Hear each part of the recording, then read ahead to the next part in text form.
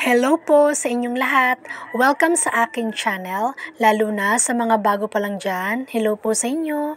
Pero bago ko magsimula guys, nais ko kayong batiin ng maligayang Pasko sa ating lahat. Ayan, so sa video ko ngayon guys ay pag-uusapan naman natin kung ano nga ba ang ibig sabihin ng legitimate and illegitimate sa DFA. So, doon sa DFA website guys, kapag nagpapa-appoint tayo ng schedule, kasama ito sa mga fill upan natin doon. So, hindi pwedeng tsatsambahan nyo na lang to guys kasi may ibig sabihin to. Okay? So, um, naisipan kong i-share ito kasi alam ko na meron pang iba na hindi ganun ka uh, alam nyo, hindi nila fully naiintindihan kung ano nga ba ito. May visa word, alam nila, naiintindihan nila, pero yung uh, deep na ibig sabihin nito, hindi pa nila ganun ka alam. Kaya naisipan ko tong i-share sa aking channel. Bago ko lang din tong natutunan guys, kaya i-share ko lang din to sa, dito sa aking channel.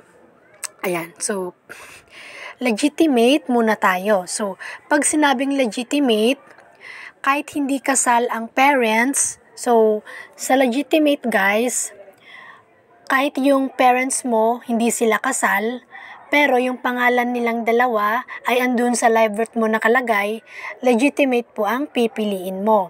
For example, yung mga magulang mo, hindi pa sila kasal, pero yung pangalan ng mama mo at papa mo nakalagay sa live birth mo, still, legitimate po kayo. Legitimate po yung uh, pipiliin nyo. Kasi, um, sa legitimate guys, um, hindi kayo makakapag-proceed kung may blank. Halimbawa, um, yung nilagay nyo lang doon is yung information, di ba dun sa pag-fill up natin ng uh, informations doon, andun yung information ng informations ng mama natin saka informations ng papa natin.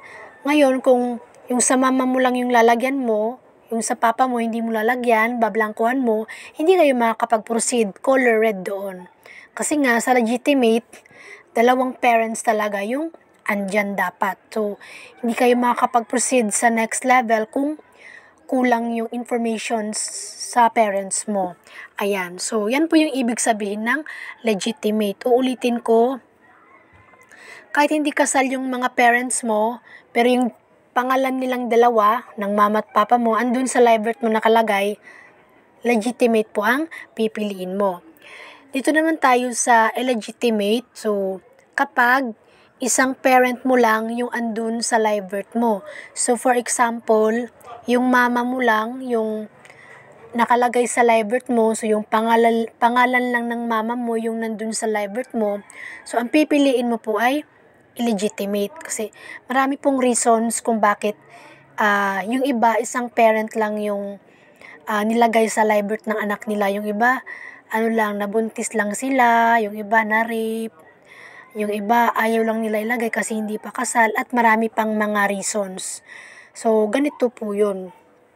So, kapag isang pangalan lang, isang parent lang yung nandyan na nakalagay sa live birth mo, illegitimate po yung i-click mo or pipiliin mo dyan sa DFA website sa pagpapa-appoint mo ng schedule. Kasi dito sa illegitimate guys, pwede kang makapag-proceed sa next uh, next, uh, I mean, next na pifill upan kahit may blankong isa. Kasi understood naman yan ng DFA na isang parent lang sa illegitimate. Whereas sa legitimate, hindi ka makakapag-proceed kung may blankong isa na parent. Kailangan talaga dalawa meron. Pero dito sa illegitimate, since understood na na kapag illegitimate, isang parent lang yung meron, so kahit walang sulat yung isang parent, okay lang. Hindi yan magre-red, makakapag-proceed kayo sa next step.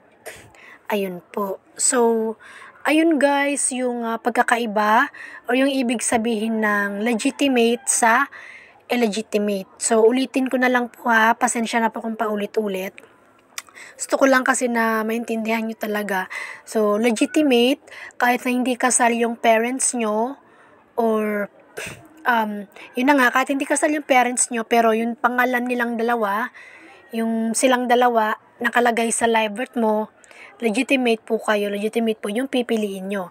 Pero kung isang parent lang yung nandyan sa live birth mo, illegitimate po yung pipiliin nyo. At sa illegitimate, pwede kayo makapag-proceed sa next step kahit may blanco. sa legitimate naman, hindi kayo makakapag-proceed sa next step kung may blanco. So, dapat both parents uh, na-fill upan nyo.